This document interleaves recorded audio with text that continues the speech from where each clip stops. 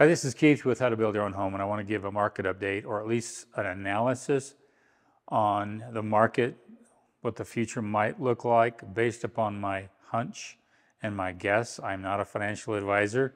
This is just based on a lot of thought processes that I put into place, plus, you know, 20 plus years of experience being in the construction industry and dealing with ups and downs in markets.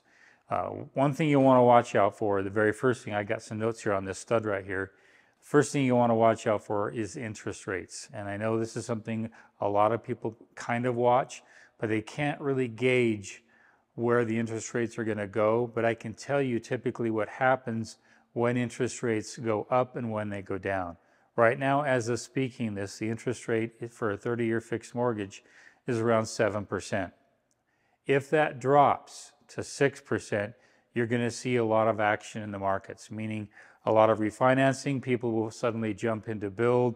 Now they can get a fixed, um, even if it's a construction, a perm loan, they can get that now fixed for a whole 10 basis points less than the 7%.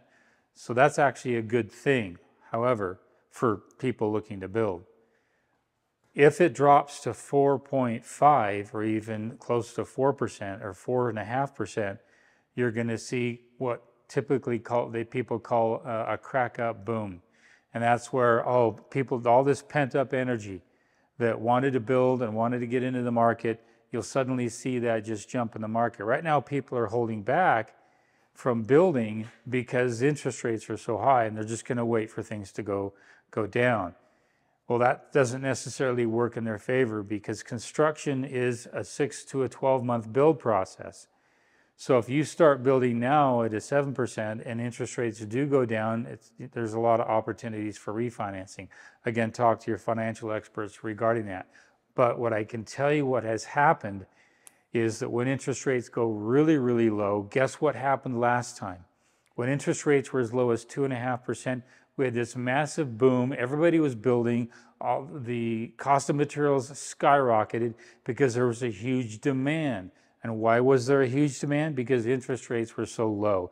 They made money cheap. So if money gets to be cheap again, that's when everything starts to go up in price. Right now, OSB is around 12 bucks a sheet. It was over $30 a sheet during about a year and a half ago with a huge boom. So don't wait for things to get better.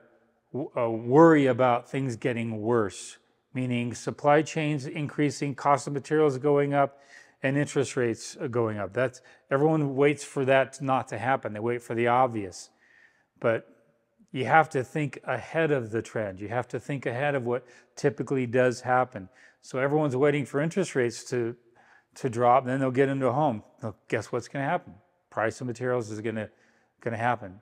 It's called um, a, a, a supply and demand if money is now made more abundant and there's more money in the market, then what happens is, is there's more demand. And when there's more demand on all the materials, then everybody wants to buy it and then the prices start spiking. So my advice is to you is don't let interest rates be the barometer of everything. You have to look at the quid pro quo, meaning the consequences, uh, the adverse reactions to a lower interest rate, higher prices. The other thing to look at is oil prices. During the fall, oil typically goes down in price. That affects the price of materials also as well.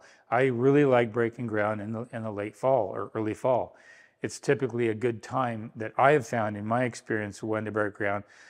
Uh, oil prices are down. Uh, typically, a lot of other things go down in that realm. It's not always the case, but it's just my, my personal gut feeling. The other thing you need, need to look at is geopolitics. We're going into 2024 next year, and that is an election year. And that's a huge, huge issue because nobody wants to run for office or be in office and running with the economy in the crapper. Nobody wants to do that. So there's going to be a lot of pressure on the system to lower interest rates next year. I can't guarantee that. It's just my personal experience that they'll try to lower interest rates, and they could go as low as four and a half percent. I don't know. It's just my hunch. It's my guess. My my my, my best feeling. I can't see them hiking interest rates to eight or nine during an election year. Just, it, it, means an obvious win for the opposing, opposing candidate trying to get in office. Well, there's a power structure in office and it wants to maintain that power. And if those, that power is aligned with the banks, they will lower, lower interest rates to hopefully maintain that power. This is just, I've studied geopolitics. I have a master's in constitutional law, so I've got my thumb beat on that whole situation, and I really watch that. There's one geopolitical issue you really need to watch out for. It's going to affect things in, in the not so near future. And that has to do with you know climate change and all of these things. They first called it global warming, then climate change. They're, they're going to change their tune. It's going to be called climate boiling.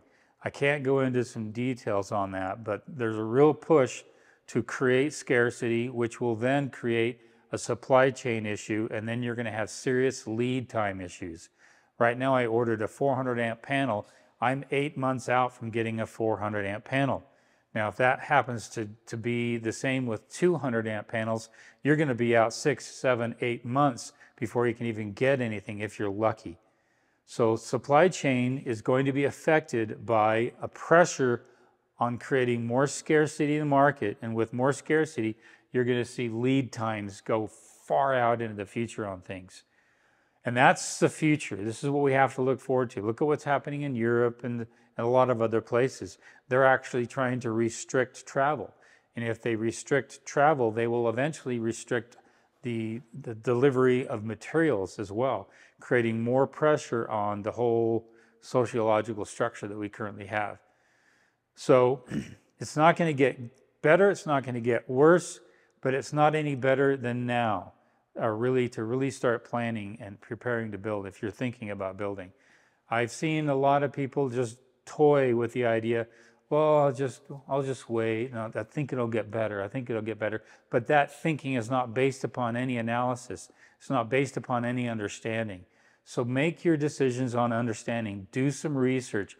Get involved in knowing geopolitics, knowing about interest rates, following the Federal Reserve, following all these sources that are key metrics and telling you what is happening now and what's going to happen down the road. The other thing to think about is that we're going to go into a currency change with the central bank digital currencies and all of that.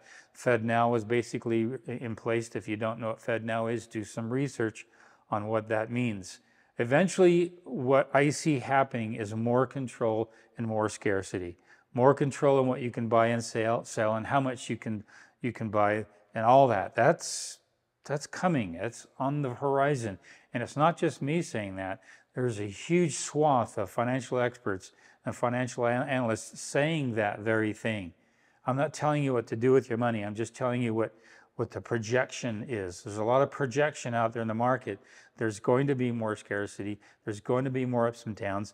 They will manipulate the interest rate to either tamp down on in inflation or to get the market going. Now, keep in mind what they've done with the interest rate over the past year and a half.